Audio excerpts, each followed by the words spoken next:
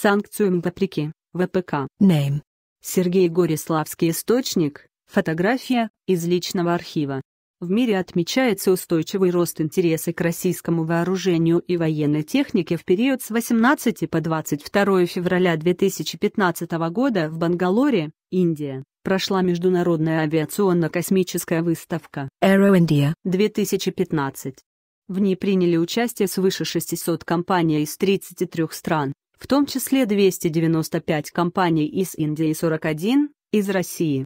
Рособоронэкспорт – единственный в России государственный спецэкспортер всего спектра продукции, услуг и технологий военного и двойного назначения, входящий в госкорпорацию Ростех. Минус представил актуальные модели авиационной техники и средств ПВО, различные программы модернизации, а также обсудил проекты по организации совместного производства вооружения и военной техники.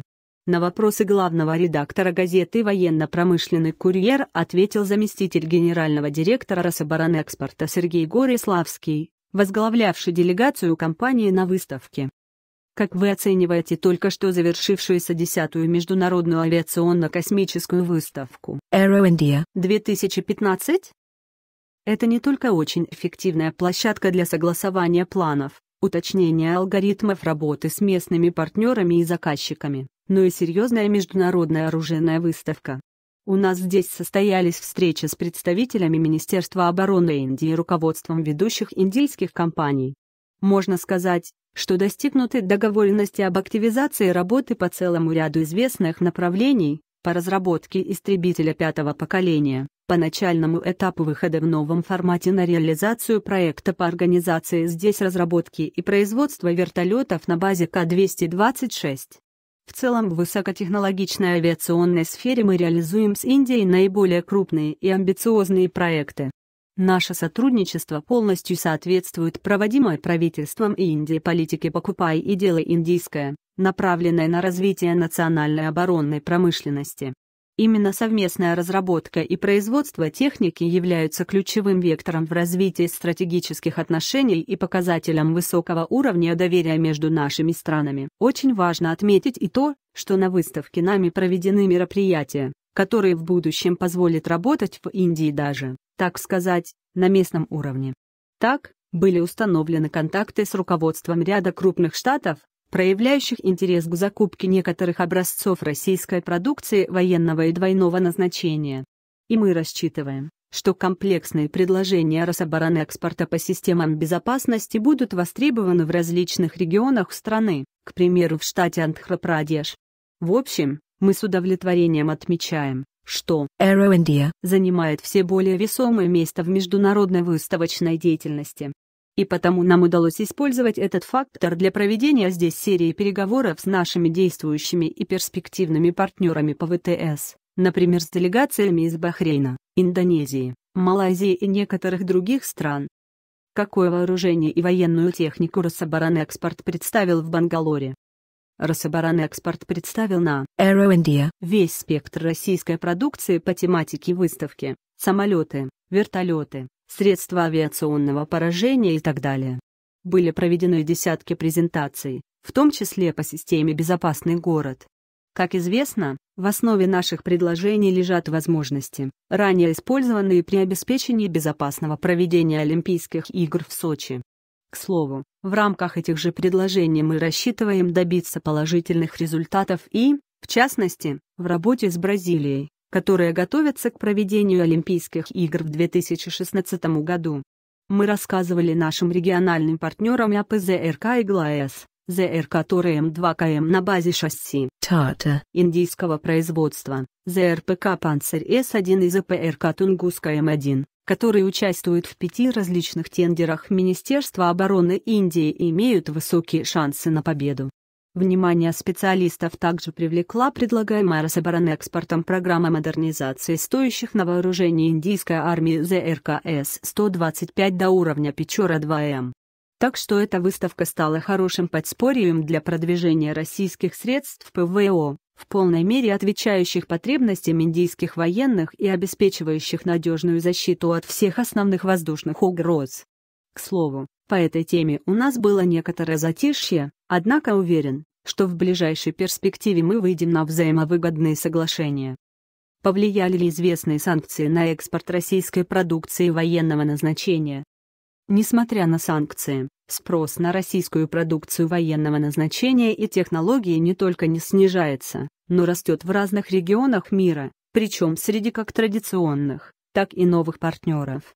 Зарубежные заказчики с определенной тревогой относятся к тому, что в случае сотрудничества с некоторыми нероссийскими поставщиками высок риск возникновения ситуаций, когда по соображениям политической конъюнктуры им будет отказано в реализации даже законтрактованных проектов. Может ли Индия вместо французских истребителей Рафаэль приобрести у России Су-30 МКИ, которые успешно эксплуатируются в ВВС Индии?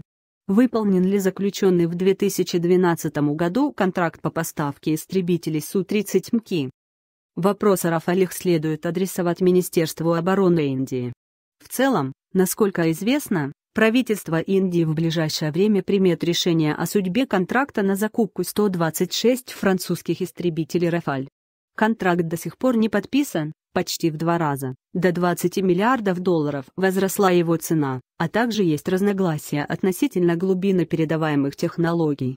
Со своей стороны могу сказать, что если Индии потребуются дополнительные истребители Су-30 МКИ, то мы готовы к проработке такого соглашения, но для этого необходим запрос от индийской стороны. Подчеркну, российские производители авиационной техники принципиально готовы к тому, что в Индии могут отказаться от сделки по приобретению Рафалей в пользу российского истребителя. Если индийские партнеры решат увеличить количество Су-30 МКИ, выпускаемых по лицензии, или обеспечить дополнительные инвестиции в совместный проект разработки и производства истребителей пятого поколения, то российская сторона готова к этим шагам. Но пятое поколение – это еще перспектива, а Су-30 МКИ – живой, реализуемый сегодня проект. Что касается выполнения текущего контракта на поставку имущества для лицензионной сборки самолетов, то все идет в строгом соответствии с согласованным графиком. Кстати, Су-30 МКИ обладает конкретным преимуществом в том плане, что он уже является основой военно-воздушной мощи Индии. Помимо этого, в стране развернуты мощности по производству, обслуживанию и капремонту Су-30 МКИ. Поэтому решение в пользу Су-30 МКИ будет гораздо экономичнее для индийской стороны. Что до ТТХ, то тут нет секрета, наш истребитель существенно превосходит французскую машину но мы с уважением отнесемся к любому суверенному решению индийской стороны. На каком этапе находятся работы по адаптации российско-индийской крылатой ракеты «Брамос» на выпускаемой в Индии по лицензии истребитель Су-30 МКИ? В настоящее время индийскими специалистами проводится доработка выделенного ВВС Индии самолета Су-30 МКИ для установки на него ракеты «Брамос» в соответствии с конструкторской документацией, разработанной специалистами Сухого. По имеющейся у нас информации, первые пробные пуски ракет «Брамос» предполагается провести до конца 2 квартала текущего года. Какова доля участия РФ в проекте по созданию первого собственного индийского авианосца «Викрант»? Планируется ли подписание контракта на закупку вертолетов К-31 под «Викрант»? В 2006 году мы подписали контракт на разработку технического проекта размещения авиационно-технических средств на корабле, который был выполнен в 2009. После получения заявки от индийской стороны в 2011 году заключен генеральный контракт на оказание технического содействия по оснащению корабля авиационно-техническими средствами. Он включает поставки необходимого оборудования и его монтаж на корабле, проведение испытаний и так далее. Работа по этому контракту ведется. В этом году планируем подписать дополнительные соглашения по поставкам оборудования. Что касается возможных поставок российской вертолетной техники для Викранта, то этот вопрос пока не обсуждался. Мы готовы предложить вертолеты К-31 с улучшенными характеристиками, их модификации успешно эксплуатируются индийскими ВМС, поэтому закупка новых вертолетов была бы логичным шагом. В какой стадии находятся сегодня работы по созданию совместного российско-индийского истребителя пятого поколения, ОКР или НИР? Когда возможно создание первого прототипа? Работы по созданию совместного российско-индийского истребителя пятого поколения осуществляются в соответствии с положениями межправительственного соглашения. Мы выполнили первый этап по разработке эскизно-технического проекта. Сейчас заканчиваем согласование контракта на последующие этапы, в том числе на разработку конструкторской документации, постройку опытных образцов, проведение испытаний и сертификации. По техническим вопросам в основном все решено, завершаем проработку коммерческих параметров контракта. Казалось бы, этот процесс затягивается. Но мы исходим из того, что нужно обсудить все тонкости, согласовать все детали, и рассчитываем на подписание контрактных документов в обозримой перспективе. В какой стадии находится работа по созданию совместного многоцелевого транспортного самолета MTA. Вопросительный знак, когда планируется подписание контракта на ОКР. В соответствии с генеральным контрактом, подписанным между ОАО ОАКТС и HAL. С одной стороны и совместным предприятием, MTA Limited. с другой, предусматривается двухэтапная реализация проекта. Первый этап – предварительное проектирование, в ходе которого подтверждается возможность выполнения тактико-технического задания и определяются основные требования к системам. Второй этап – это опытно-конструкторские работы. Первый этап реализован. Сейчас стороны планируют перейти ко второму и заключить соответствующие соглашения на выполнение ОКР. К настоящему времени, в ходе реализации проекта по совместной разработке многоцелевого транспортного самолета российские и индийские инженеры выполнили этап предварительного проектирования самолета. Результаты предварительного проектирования самолета находятся на конечном этапе их оценки индийскими ВВС. В целом производство российско-индийского многоцелевого транспортного самолета МТА может быть развернуто уже к 2018 году. К постройке планируется 205 самолетов МТА, 100 для ВВС России, 45 для ВВС Индии, 60 для потенциальных покупателей из третьих стран. Когда будет реализован опцион, подписанный в 2012 году на поставку дополнительной партии военно-транспортных вертолетов Ми-17В5 по контракту от 2008 года. До конца года мы планируем завершить поставки. Кроме того, с индийскими партнерами обсуждается возможность заключения соглашения на закупку еще одной дополнительной партии вертолетов Ми-17В5. Сейчас все больше и больше организуется совместное производство вооружения и военной техники. В данном случае и применительно к Индии в чем мы выигрываем, в репутации, надежности, росте производственных мощностей, завоевании рынка. Для нас какая выгода? Мы выигрываем сейчас тем, что, отвечая на новые, более повышенные требования индийской стороны в рамках их принципа «покупай и делай индийское», готовы к глубокой передаче технологий. И мы выгодно отличаемся от многих стран. В частности, история с Рафалями минус вполне наглядный в этом плане пример. Французская сторона не готова к передаче определенных технологий, а наш потенциал в этой области более конкурентоспособен, поскольку фактически по этому принципу мы работаем с Индией очень давно, по сути с самого начала двустороннего военно-технического сотрудничества в 60-х годах. У нас накоплен огромный опыт по созданию, совместной разработке, организации совместного обслуживания поставляемой техники.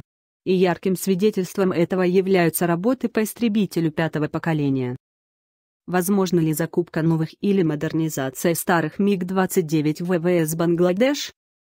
Мы готовы к любым формам сотрудничества. Россия может как поставить ВВС Бангладеш новые модификации МиГ-29, так и модернизировать стоящие на вооружении истребителя. Ведутся ли переговоры о возможной модернизации МиГ-29 ВВС Малайзии? Будет ли Россия участвовать в тендере на замену МиГ-29 ВВС Малайзии? С каким самолетом? Переговоры о возможной модернизации МиГ-29 ВВС Малайзии ведутся РСК МиГ. Что касается планируемого тендера по многоцелевым истребителям, то мы пока не можем сказать, с каким самолетом будем в нем участвовать. Тендерные требования не были объявлены. Когда это произойдет, мы определим истребитель, который будет в наибольшей степени им соответствовать. В какой стадии находятся переговоры по возможной закупке Индонезии российских истребителей Су-35? Когда может быть подписан контракт и о каком количестве машин может идти речь? Мы ведем консультации с индонезийскими специалистами. О количестве и сроках подписания контракта говорить рано. Однако, как вы знаете, недавно главком ВВС Индонезии вице-маршал Agus приятно отметил, что российский Су-35 полностью соответствует требованиям Индонезии.